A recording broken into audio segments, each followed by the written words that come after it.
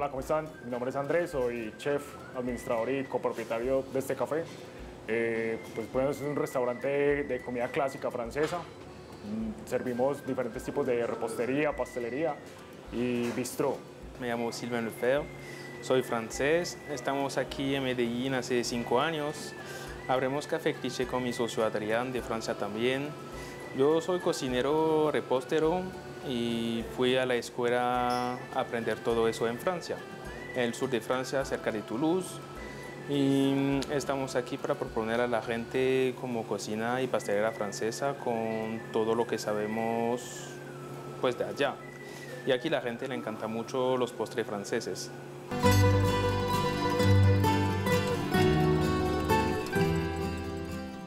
Este es un espacio pensado para, para todo tipo de público, tanto familia como parejas. O sea, queremos que la gente cuando pasa la puerta de este café se sienta como en casa. Tenemos espacios para que se recuesten, sofás, tenemos arriba una biblioteca súper grande.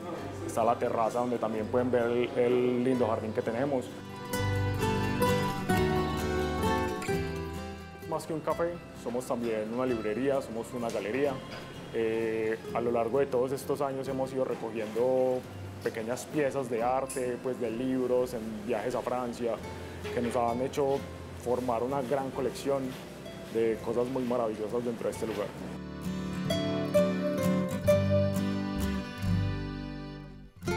Eh, bueno, con el tema de la reactivación económica fue, fue un tema muy difícil porque teníamos un hostal aliado en esta casa donde estamos ubicados que tuvo que cerrar lastimosamente. Entonces el café que estaba ubicado allá a dos cuadras, pues lo mudamos para acá y fue una gran decisión porque acá pues nos caben más clientes, nos caben más, más personas, pues somos una familia más grande ahora. Eh, sobrevivimos gracias a toda nuestra clientela fiel, porque sin ellos no hubiéramos sido capaces.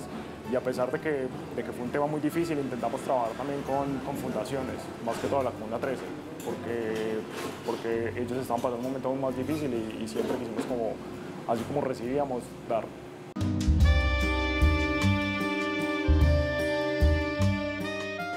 Entonces en Francia la repostería, la base de la repostería es con la mantequilla. Eso es muy muy importante en Francia, la usamos en todo lado.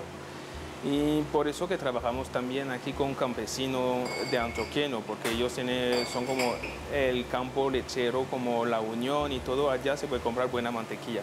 Eso no toda mi base es de pastelería.